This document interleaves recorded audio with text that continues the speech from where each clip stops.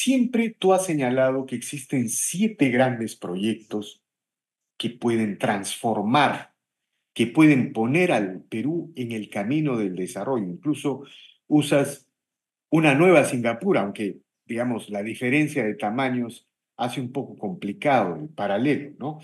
Pero si el Perú fuese una nueva Singapur, sería una especie de potencia regional.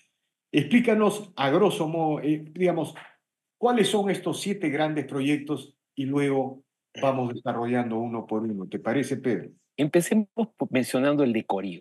Corío es como el ancla para canalizar esos siete proyectos. Su importancia es tal porque la justificación de un megapuerto viene del estudio de costo-beneficio de esos otros proyectos que se articulan en torno a Corío.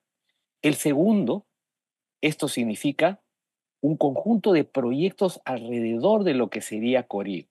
Para empezar, un puerto multimodal. ¿Qué significa esto? Que permita la llegada de vías de comunicación de diferente eh, em, tipo.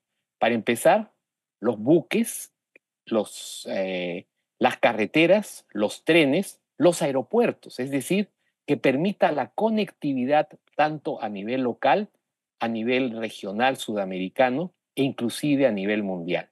Entonces, de entrada ahí tenemos un conjunto de proyectos que se articulan alrededor de Corío.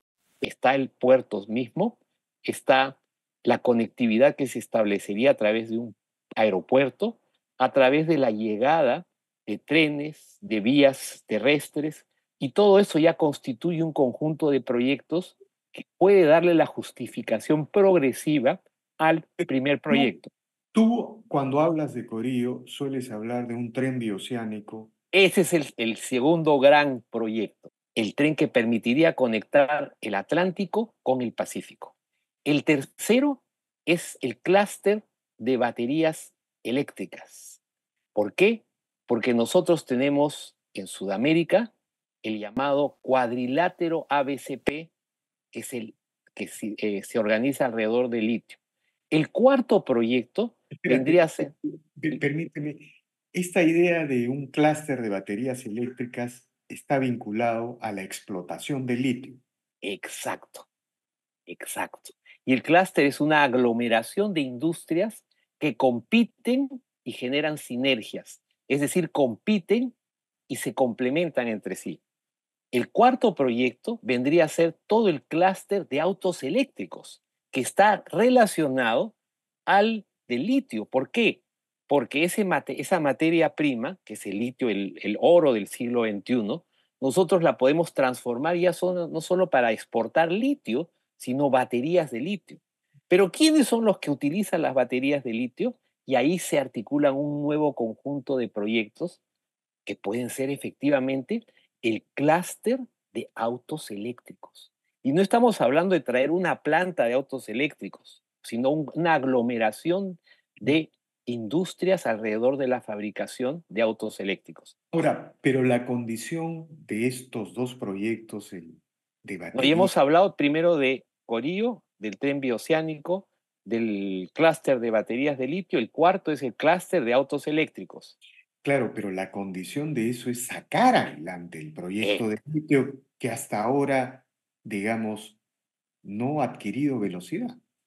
Bueno, está adquiriendo velocidad, lentamente, pero efectivamente podría agarrar mucho mayor velocidad. Existen ya muchos, muchos, muchos pedidos para hacer proyectos y concesiones acerca del litio en el Perú. Efectivamente hemos encontrado un primer proyecto en Macusani, en, en, Puno. Pero nosotros no podemos simplemente justificar el clúster de litio en función de lo que tenemos en Puno. Tenemos que colgarnos de otros países, que son justamente el llamado triángulo ABCP, Argentina, Bolivia y Chile. Y yo ya lo mencioné. Argentina, Bolivia y Chile tienen 48% de las reservas mundiales de litio. Si le sumamos Perú, tendríamos 54% de las reservas mundiales de litio. Ese sería el clúster de litio, porque nosotros podríamos canalizar no solamente la materia prima del Perú, sino la materia prima de Argentina, Bolivia y Chile. Y esas condiciones de competitividad que nosotros conseguiríamos a través de la infraestructura vial portuaria, los llevarían a nuestros hermanos países de Argentina, Bolivia y Chile. ¿Sabes qué? Corío es tan grande que nos conviene sacar por ahí nuestra carga. Por ahí va la cosa. ¿Cómo vamos articulando? la, idea de el clúster de autos eléctricos, de baterías eléctricas, es convertirnos en el polo industrial de todo el triángulo de litro mundial que representan estos cuatro países. Exacto, por eso ya hablo del cuadrilátero, porque no es solamente como se, se solía hablar al triángulo ABC, ABC. No, no, no, acá está Perú. Y nótese que Singapur escogió una estrategia muy parecida, porque Singapur por muchísimos años fue el mayor puerto del mundo y todo lo que comercializaba Singapur no necesariamente provenía de Singapur, al contrario, Singapur fue el vehículo a través del cual los países del Asia, sobre todo el sudeste asiático, pudieron proyectarse al mundo. Y ese es el modelo que de alguna manera nosotros recogemos desde el punto de vista geopolítico para el Perú. Ahora, hasta este momento has mencionado uno, dos, tres, cuatro proyectos. Exacto. ¿Y cuáles son los tres restantes? Bueno, el siguiente será Chancay, de todas maneras. Claro, ahora estamos hablando del sur. A Chancay ya lo tenemos eh, como otra, otras, otra zona, digamos, interesantísima para articularse con el centro del Perú. Estamos, mire, solo hablando del sur del Perú.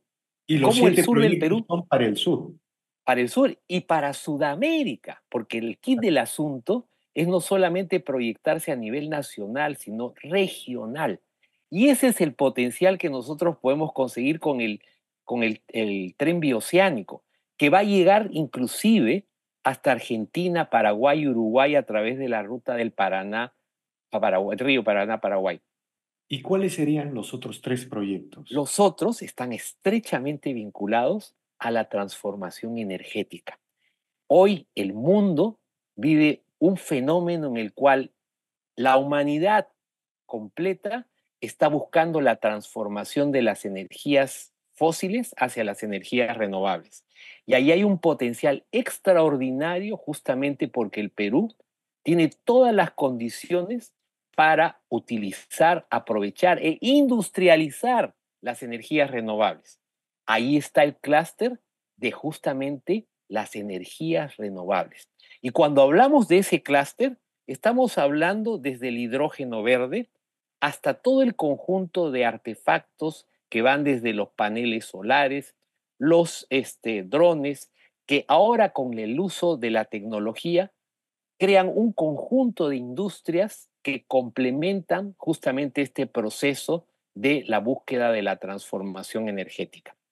Le agregamos a eso el proyecto de integración comercial del eje Puno, Juliaca, Tacna, con un conjunto de parques industriales que nos permitan, entre otras cosas, hacer que los productos minero-metalúrgicos adquieran valor no solamente como materias primas, y ahí tenemos los otros proyectos. En primer lugar, eh, los clústeres de industrias minero-metalúrgicas. Es decir, nosotros cómo podemos llevar la minería, la metalurgia peruana con productos de mayor valor agregado.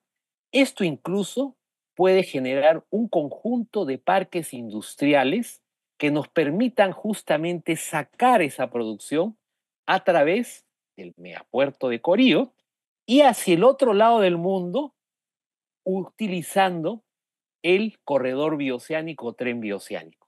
Entonces ahí ya tenemos, es como un, cómo se van articulando los proyectos, porque sale el proyecto de litio inmediatamente y nos hace ir a pensar, ¿y por qué solamente vamos a exportar litio? No, baterías. ¿Y por qué solo baterías? Si podemos probablemente y tenemos las condiciones para que sirva para un clúster de autos eléctricos. Entonces, es un conjunto de proyectos que puede crecer y sobre todo conseguir la llamada industrialización vertical. Cuando hablamos de un proceso de industrialización vertical, estamos haciendo justamente eso,